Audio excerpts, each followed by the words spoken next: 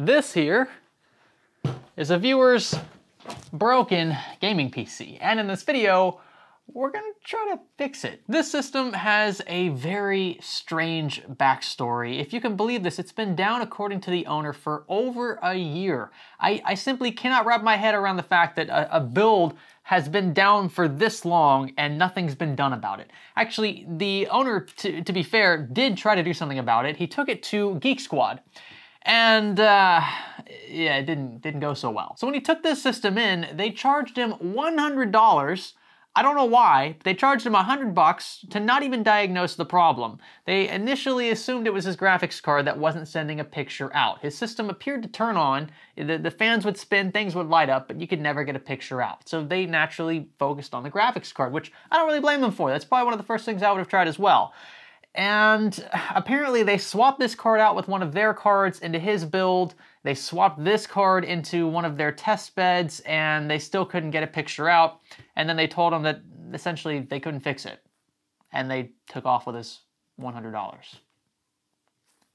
What, what kind of service is that? Now, to be fair, I am going off the word of this system's owner, and uh, for all I know, he could have it out for Geek Squad. Maybe he just has some like personal vendetta. I don't know. But I, I can tell you what he told me as to the reason why this hasn't been fixed for so long. He assumed, well, if Geek Squad can't fix it, I mean, what's the point bringing it in anywhere else? Somebody's spending money so that you know, other people just end up telling me the same thing. It's unfixable. We can't figure out what's wrong. Well, now it's in this studio, and I can personally guarantee you we're gonna figure out whatever the heck is wrong with this. And if it does end up being the graphics card, usually I make exceptions for these builds when it comes to replacing cards because I don't get cards from vendors either, right? I have to pay out of pocket for these, but if the graphics card is the reason why this system is not working, I will personally replace it. I will dip into my own pocket and buy him a replacement card on eBay. This card in here actually isn't even that powerful, so it wouldn't be difficult to give him an upgrade. Pretty sure it's an HD 7700, somewhere in that ballpark, and he's obviously using a Ryzen platform, AMD, that the stock Wraith Stealth cooler there. He has uh, what looks like an NVMe drive here from Team Group at the bottom, and this case is from MSI. Now, the power supply in here, he swapped out because he wanted to put a, a discrete card in here. Obviously, the CPU, uh, this Ryzen chip doesn't have integrated graphics, so he needs a dedicated card to run picture out, and that's why this uh, kind of cheap placeholder is here. Uh, but he swapped a power supply so that he had dedicated PCI power. And I actually have the old unit. I'm going to test that for him. He also wants me to test another graphics card that he is not sure of whether or not it works or not. Again, Geek Squad couldn't give him any answers. He actually brought a second card in, and we, we don't know if it works or not, but uh, we're gonna test everything and we're gonna definitely get to the bottom of why this build is not posting. So be sure to stick around for the ride, stay with me. NZXT's BLD Foundation pre-built PCs are a great way for folks to easily get into PC gaming without breaking the bank. Reeling over 100 FPS in League and Valorant and over 60 FPS in Fortnite, all with settings at medium and in 1080p. That ain't too bad at all. And perhaps best of all, this build is super easy to upgrade down the line with a discrete graphics card, since you've still got six multi-threaded Zen 3 CPU cores to pair it with. NZXT's BLD pre-builds waive the $99 build fee since they're made in bulk, and you'll get a two-year parts and labor warranty with every purchase. Learn more about BLD systems, including this Foundation PC here, via the link below. Now, for those who aren't aware, this playlist is Fix or Flop. Sometimes I abbreviate it FOF, that's the acronym kind of unofficially, but uh, if I'm just describing the playlist or wanting to reference the name, sometimes I'll put that instead. And what we do here is attempt to fix viewer systems in and around the Orlando, Florida area, generally, for free. We charge $0 and 0 cents so long as the owners are okay with us taking on their systems for a few days and filming these troubleshooting processes. We can monetize these videos externally via YouTube AdSense and other external brands, and because of that, I don't feel like offloading any of that you know, cost, what would be a cost, to the owners because they're already gracious enough to loan us their systems for a few days. Now again, with respect to this build here, I know nothing about this system apart from the fact that it has had um, a bit of a history and that it does not post. The owner told me that the fans will spin, that things do light up, but that no picture is sent out whatsoever. In fact, it even sounds sometimes like it's power cycling to him. So Let's get to the bottom of it. Now, one of the most important troubleshooting steps is also the first step you should take, and that is to verify that the system is exhibiting the symptoms that are described by the owner ahead of time. If what you're seeing in the office doesn't add up with what they're describing, you might have a different problem on your hands and you might want to contact them before diving into a project like this. So the system is on and we have all the lights from the fans lighting up. The CPU fan is not spinning. Oh, there it goes. Yeah, but no post. Hmm.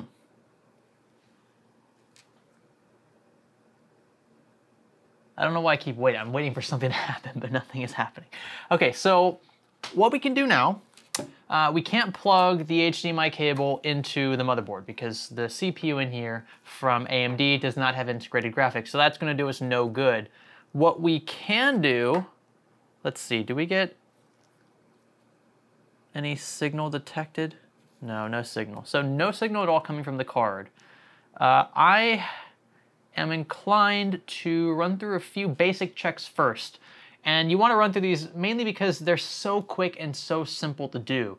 Uh, namely, those are checking that RAM is seated properly and clearing the CMOS, because those two things could very well be causing the symptom we're seeing here. Now, it's going to be a bit difficult to see, but uh, these two DDR4 modules are actually in slots A1 and B1, uh, whereas slots A2, right, is right here between these two DIMMs, and B2 are typically where you want to install your first two DIMMs. Now some boards might be weird, but uh, most boards I've worked with prefer A2 and B2 first. So what I'm going to do is remove both of these DIMMs and move them over into uh, the other two open slots and try to power the system on like that. And by removing these modules, we'll ensure that once we reinstall them, that they're reinstalled correctly this time. Let's move this one over both of these modules do feel like they are installed correctly, so I doubt this is the issue. But having them in the incorrect slots, I mean, that could be a very kind of just finicky thing that could be preventing the system from posting. So now we are definitely good to go on RAM. Is it gonna work? I don't think so. Huh. I'm not all that surprised, but I did want to rule out that variable. And uh, now what we should do is clear the CMOS. I'll show you how to do that right now. So with the system fully off, what you'll want to do is, let's see, where are the two pins we need to jump? Because this board doesn't have a dedicated button for it. Uh, don't tell me they're behind the graphics card. This is the most annoying thing ever. Okay, well, uh, let's remove the card real quick to get to the pins we need to jump. Because, yeah, this board doesn't have the button. Ah, okay, so actually the two pins are way down here at the bottom of the board next to the JFP1 header and these two fan hubs. Uh, it's kind of a good thing to remove the card anyway because we have better line of sight now where we're working. So if you look very closely, you'll see text under here that says something along the lines of clear CMOS or CMOS clear CLR, and the two pins directly above that description are the two that we want to jump. You want to use something that's obviously metallic, something that can conduct electricity, and uh, so using, you know, like this Phillips head screwdriver I have here should be uh, good for that. We do this all the time. So you want to hold this right over the two pins, and you're going to want to hold it there with the system powered off for about 10 to 20 seconds. Now, you might be wondering, well, Greg, how is this supposed to work if the system's fully powered down? We're actually utilizing the battery on the motherboard to take care of this, uh, this clearing. So you don't need power from the wall. I've seen people do it with the system on, and uh, I don't really advise that. If you do it the correct way, it should only take 10 to 20 seconds here. And uh, once we are finished with this, we can lift it back up, and then all we need to do now is reconnect power. Is this gonna work? I don't know, I doubt it, but you'd be surprised. Clearing the CMOS can uh, cure a number of computer ailments. It's just, I'm, I'm, just not feeling this though. I don't, I don't really feel like this is it because, I mean, for it to be down for a year, all because of the need to clear the CMOS? No, it can't be that simple. Whew. Okay, we're gonna be diving a bit deeper. The first thing I, I wanna tackle for sure, because this card is so old, is just that, the graphics card. I think that swapping this out with our trusty GT710 should let us narrow down whether or not the card is the reason why we're not getting picture out. So let's do that right now. So out goes this, I can get it out, there we go. And in goes this. We don't need supplemental PCI power, mind you. All the power is driven through the PCI slot. And let's give it a shot. A few moments later. Okay, uh, I'm starting to see why Geek Squad didn't want to take this on. I think it's extremely dirty that they took $100 from him. If, it, if in fact that happened, I mean, ultimately to do nothing, right? You didn't fix the problem. But uh, I can see why they might have wanted to not touch this. Because if, if it's not the obvious thing, then it's probably something much more in, intensive, and maybe they just didn't want to deal with it. And if that if at that point you decide that you don't want to touch it, that's fine. But then don't take a hundred dollars from the guy. You know that that's just That's awful. I mean, that, that's not a good look for your brand at all. So, uh, I, I guess it's a good thing that it's not the graphics card. You know, I mean, despite this being quite old, it would still be pretty expensive to replace. So um, it's it's nice that we've narrowed that down. But uh, that leaves just the motherboard, CPU, and power supply.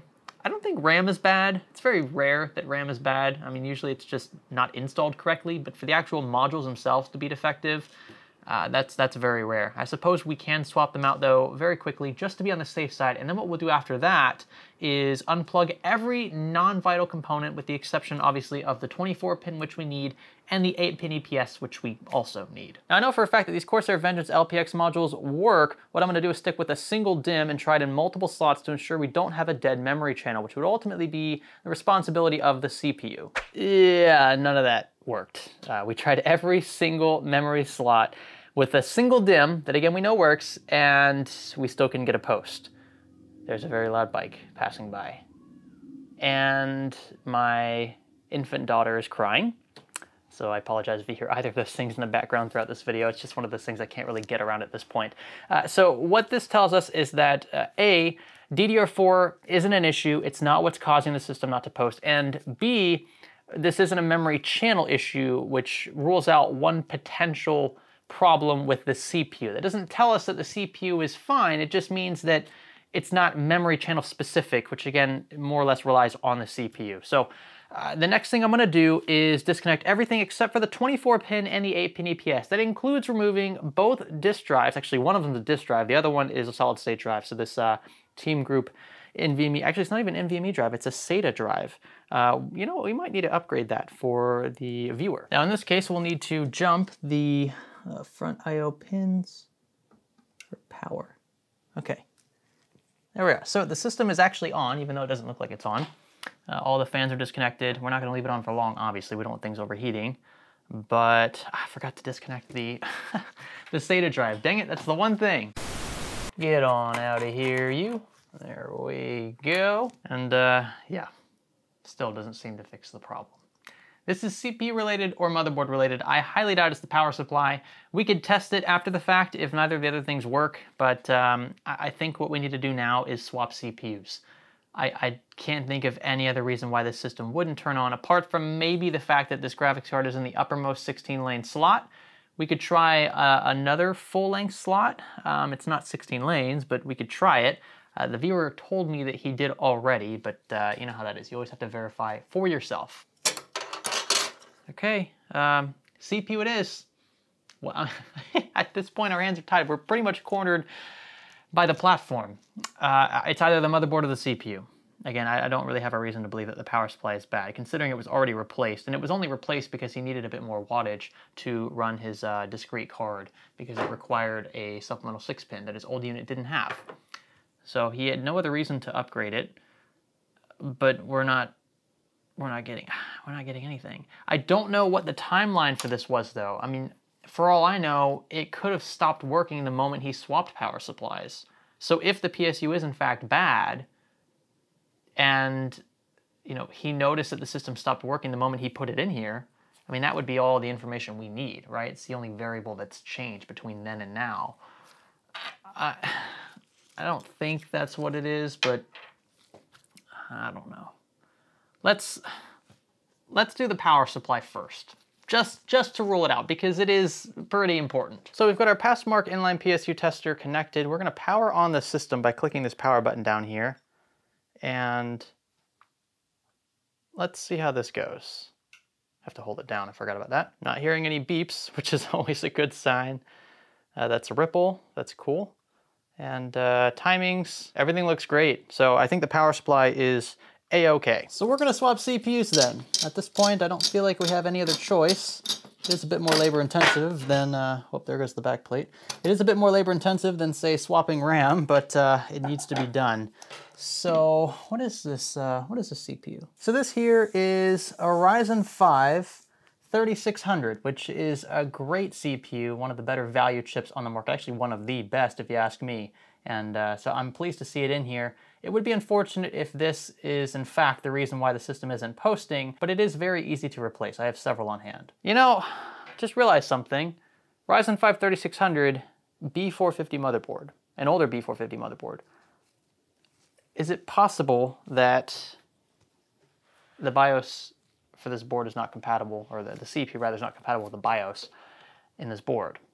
If that's the case, then that would 100% explain why we're not getting a post. If you put an incompatible CPU in a board like this, you won't see any picture, you won't get into your BIOS, nothing. You'll just have a black screen. It might boot up, it might power on. In fact, in most cases it will, but you won't get any picture because the system can't post because the necessary files aren't there to run system checks with the new CPU in it, the CPU that it doesn't recognize. So I'm going to replace the 3600 in here with a 2000 series Zen Plus CPU and see if that works. I bet you it will. And a quick visual inspection of the CPU. Everything looks good. I don't see any bent or missing pins and I don't see any gunk in the socket either. So in goes a Ryzen 5 2600. It's a bit awkward doing this with the PC standing up, but anyway, looks pretty good on camera. Now, is this gonna work? I sure as heck hope so. I, I do believe that it will. Um, I have every bit of faith that this will work this time. We're gonna reconnect the CPU cooler. Don't want that overheating, especially a chip that I know works. Come on. Come on. Power cycling, that's actually a good sign. Um, it is probably training memory. This uh, notices that a new CPU is in there, a compatible one at that. And I think we should get, yes, there it is. So there's a picture. All right, so uh, we're not done yet. So, you know, you could stop here, and I'm sure um, at this rate, I mean, whoever, whichever Geek Squad this guy took the system to, I'm sure they probably, if they had gotten here, would have said, yeah, it's just a dead CPU. But it might not be, okay? It might just be an incompatible BIOS. So what I'm gonna do now is upgrade or update this BIOS to the latest. So whichever board this is, we're gonna look it up online. We're gonna download that BIOS. We're gonna connect the USB drive that that BIOS file is on to the back of the board. And then we're gonna go in here and flash the updated one. And then we'll try putting this 3600 back in here because at that point, Zen 2 should be compatible with B450 boards. So let's give that a shot. I know I've said that a few times, just bear with me. So uh, actually, what it looks like now, he has P4.50, this BIOS version installed currently. And this actually added support for 5000 series CPUs. So the 3000 series CPUs are definitely supported. In fact, that support was added way, way down here uh, in 3.2, I believe, where it says support uh, AMD Next Gen Ryzen processors. It doesn't say 3000 series or Zen 2, but I assume this is what they mean. And this was back in May of 2019. Uh, this actually adds up with the uh, the owner's story actually. So if he has 4.5 installed and this BIOS revision came out in 11-19-2020, that means that this system theoretically could have been down for a year. That's I mean that's really something. So I, am not really inclined to update. I mean, we could update his BIOS. It says that you really shouldn't, especially if you're going to be using some of these other CPUs, but uh, I mean, we get a few AGESA updates and things with the latest BIOS revision, so we'll go ahead and update them to 5.0. What we'll do is click the global download link over here. We've got the file extracted and saved to the root of our thumb drive. We'll connect it to a USB port at the back of the motherboard. You may need to connect to a USB 2.0 port depending on the drive used and the motherboard in question. And in the BIOS, we'll want to click the Tool tab followed by the Instant Flash icon, and this should find our uh, BIOS update here. We actually have two copies of it and uh, we'll click yes. Now you want to make sure that you don't do this during uh, a thunderstorm or if you have really spotty power, make sure you're hooked up to a UPS or something because you don't want power to cut out while this is happening. If you don't have a secondary BIOS uh, backup, then you're gonna have a bricked board if this gets interrupted. So we'll click yes, and we'll let this thing run through its paces without touching anything. Now, once it's completed, it may reset a few times, just let it do its thing. Eventually, you'll either get into uh, Windows, if you have Windows installed, or you'll just get back into the BIOS uh, homepage. At that point, the flash is successful. All right, now with the BIOS updated and the original 3600 back in here, so his CPU, let's see if it works. We need to jump. I don't know why I'm reaching for the power button. Let's jump the pins and we can reconnect the CPU cooler. Yeah, I don't see, I don't think, there's always that weird delay with the cooler with a 3600 in here. I don't think it's gonna work now. Uh, if it didn't work before, again, I don't expect it to work now just because P4.50 already included support for Zen 2. So uh, just doing this as a precaution doesn't hurt to upgrade the BIOS anyway with the latest AGESA updates. So, uh, yep, doesn't look like it's gonna do the trick. So I think his 3600 is just bricked, which that's that's not a very common thing. But uh, I mean, we've narrowed it down to just that specific variable. The other thing we can do is try the 3600 in a different platform, maybe a, an X570 or B550 board, uh, just to be sure. But uh, we know that the rest of its components work because we got a post with this fully functioning 2600. So something's up. So first we'll swap in our fully tested Ryzen 5 3600. We'll set up the remainder of his build. I also want to upgrade his storage, which we'll get to in a second, uh, and then clean up his cable management, clean up his build a bit because it is a bit dusty. Uh, and then once we're finished with all of this, we'll set it aside and try one more time to get his original Ryzen 5 3600 to post. We'll give him some fresh thermal paste while we're in here. I like the X pattern for Ryzen CPUs. Something like that, maybe a few extra dots around the edges. Doesn't have to be a work of art. It usually never is in my case. I'm gonna look pretty stupid if this doesn't work. But again, I have no reason to expect that it won't. That's weird. The CPU fan's always, it always takes a few seconds to turn on. Maybe it's in the wrong port. That's CP fan 2. That would be why. Let's move that over to the main CPU header. There we go. This this has to work. Yes, okay. Whew. Um, I was a little worried. I was a little, a little scared there. Again, on paper, it should work, uh, especially with the, the, the new BIOS we have installed, and that is uh, P5, so P5.00 and that's the latest BIOS revision for this board. So he's up to date there. Uh, he has essentially the exact same CPU, just swapped over with one that actually works. And this one we're gonna have to do a few more tests on and we'll, we'll conclude the video with that. Uh, for now though, the reason why we're getting kicked into the BIOS is because we have his storage drive disconnected. He actually has two drives in here. Uh, he has a hard disk drive and this SATA, uh, it, it's actually a SATA M.2 drive.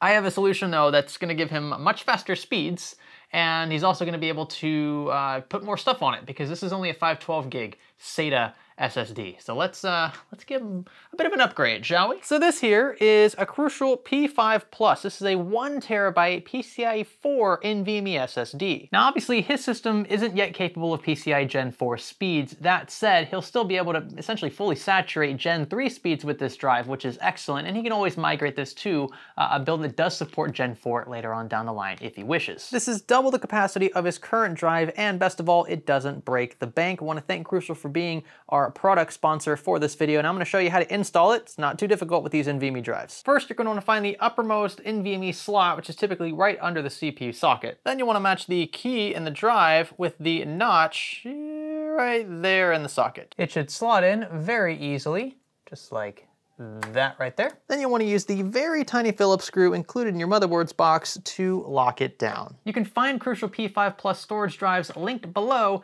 if you are interested. Now at this point with the drive installed, we need to get Windows installed onto it, and to do that, we need to connect our USB bootable media to the back of our motherboard here, and to power the system on, we'll want to choose the USB drive as the boot device. There should be no other bootable volume in this system because the only other thing in here is a hard disk drive, and that apparently just has games on it, and then his original M.2 drive just had a basic operating system. He told me that since it's been a year already, I could go ahead and wipe that if I needed to. There was nothing important on it, and it was all backed up, which is, oh, it's always great to hear folks backing up their data. That is very important if you have sensitive files. All right, and with everything reconnected, uh, including his original graphics card, all of the smaller connections, front I.O., all the fans, LEDs, etc., everything else works. And again, I'm not surprised because we essentially tested everything else. By the time you get to the CPU, if the CPU is the culprit and you discover that just by, you know, process of elimination in general PC troubleshooting, you should probably have already tested everything else because to get that far into it,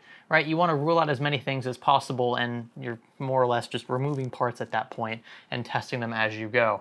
Uh, so CPU being bad is just, um, it, it's unfortunate, but it certainly could have been worse. If his graphics card had been dead, I'd say that was that would probably have been a little more cataclysmic. But uh, Windows is set up now. He's going to have a blazing fast Windows experience now thanks to that new Crucial P5 Plus drive we installed. And uh, all he's got to do is just sign in, set up his account, and he'll be good to go. We'll clean this up and set it aside. The last thing I'm going to do then is test his Ryzen 5 3600. You'll have to pardon the mess. This is a very, very temporary setup. Obviously, we're just trying to see if this CPU works with a totally different platform. Uh, we are reusing the same GT710 we always do because we know it works, and I think that's it. Everything else is different. The motherboard's different, RAM is different, although I expect these really won't be uh, variables at play here. I do have a, uh, a stock AMD cooler atop the chip, and I use Carbonaut thermal pads, uh, in case you're wondering. The uh, uh, carbon pads that are very easy to swap from build to build. It's great for troubleshooting. Is this jank setup gonna work? We'll find out. Actually, don't need a screwdriver. This has a power button on board.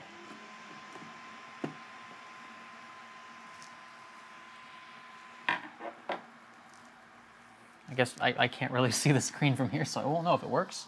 This will actually, I didn't even think about this. This board has a Dr. Debug LED, so it'll tell us specifically what is wrong with it.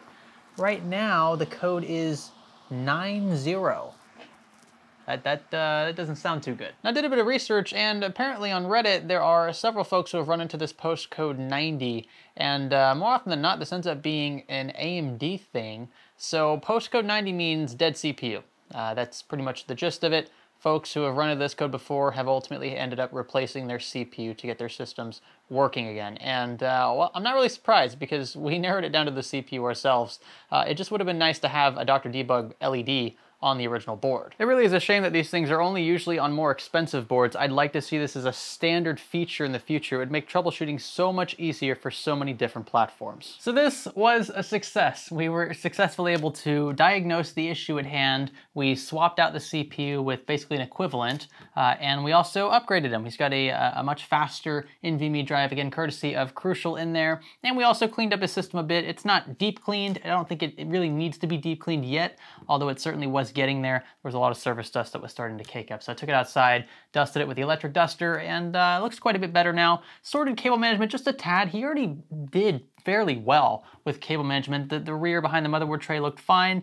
And uh, I mean, I think it all works really well. You know, his, his graphics card is a bit weak, sure, but uh, in this market, you really can't complain. At least he has something uh, that can help him with display out. Now, I do still have his other graphics card. I was gonna show that to you in this video and maybe even attempt to fix it if it is broken, but uh, I've been spending all day on this build so far, and uh, I just wanna break it up. I don't wanna do it all in one video. It's too much at this point. So uh, I'm going to take a look at that. If I think it's worthy of a video, if I think it's something I can fix, maybe we'll film that. But uh, if I don't have the time, I might just end up giving it back to him and, and he can always just swap that into here now that this system works and, and test it himself. Shouldn't be too difficult.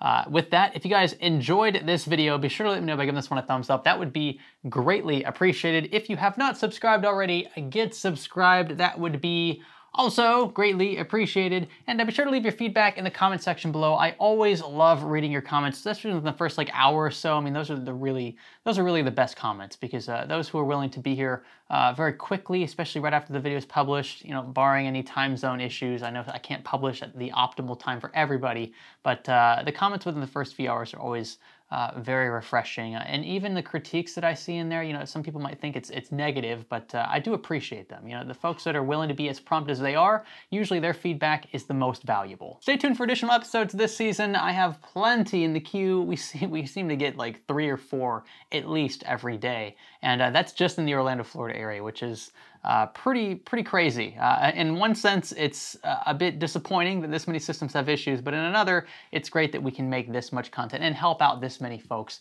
in the area as well. So uh, stay tuned for all of that. I will catch you in the next one. My name is Greg. Thanks for fixing a system with me.